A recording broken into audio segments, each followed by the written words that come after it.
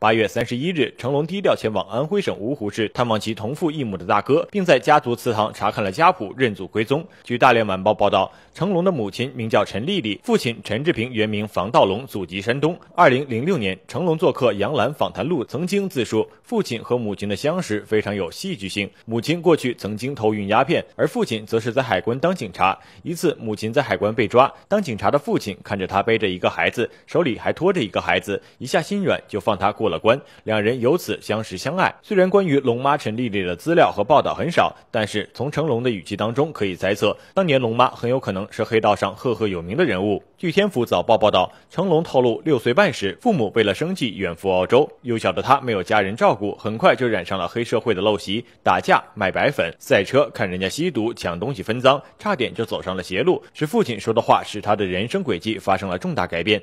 我十六岁那年，父亲在飞机场对我说了：“你。”长大了，我管不了你，但是三件事你不能做，你要答应我：第一，不能加入黑社会；第二，不能吸毒；第三，不能赌牌九。那三件事是我整天都在碰的，但是我答应了我爸爸。据重庆晚报报道，生母一生简朴，成龙成名之后，经济宽裕，自然对母亲极为孝顺，但是母亲仍然不肯穿金戴银，更不愿意尊养储优。二零零二年，在曼谷拍戏的成龙得到母亲去世的消息，难过的连饭都吃不下。二零零八年一月二十六日，九十三岁的成龙父亲房道龙在香港去世。虽然身世坎坷，但成龙一直以父母为荣。据成龙的发言人，在二零零八年透露，成龙有意将自己父母的故事拍成电影，还想邀请姜文和巩俐出演自己的父母。搜狐视频娱乐播报整理报道。